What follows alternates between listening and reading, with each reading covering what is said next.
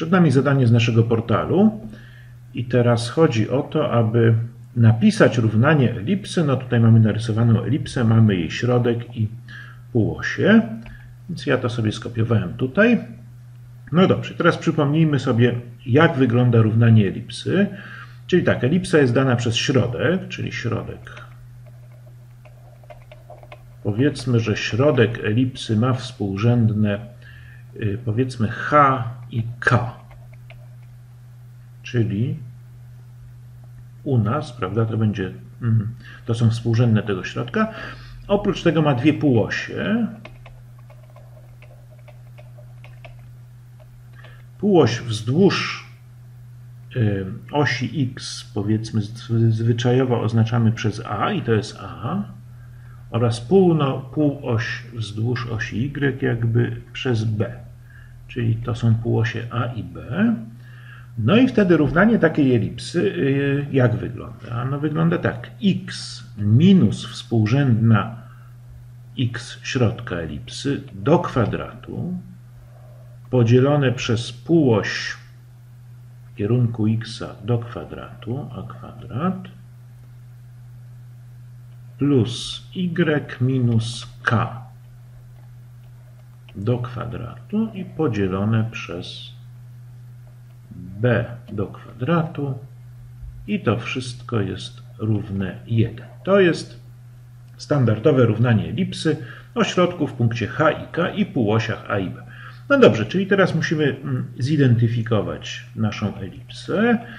Dla naszej elipsy h to ma być współrzędna x środka, czyli to jest 5, czyli h jest 5. Natomiast współrzędna y środka jest minus 4. Teraz A. No nasze A to jest tutaj raz, dwa, trzy. I nasze B to jest tutaj raz, dwa, trzy, cztery, pięć. Dobrze, no i teraz możemy, no możemy już napisać równanie. X minus 5 do kwadratu podzielone przez a do kwadratu, czyli 9 plus y minus minus 4, czyli plus 4 do kwadratu podzielone przez 5 do kwadratu, czyli 25 równa się 1. No dobrze, no to teraz sprawdźmy nasze rozwiązanie, czyli było tak. Mm, tutaj mamy to wpisać, ułamek w liczniku będzie tak, x było minus, minus 5, tak, sprawdźmy,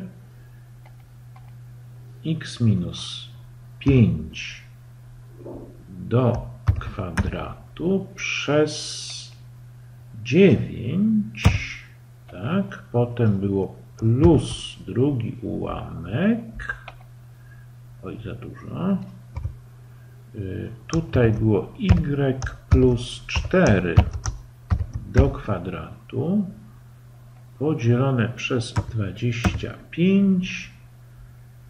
Tak, i to wszystko równa się 1. O, to jest równanie naszej elipsy. I jak zwykle zachęcam Was do samodzielnego rozwiązywania zadań na naszym portalu.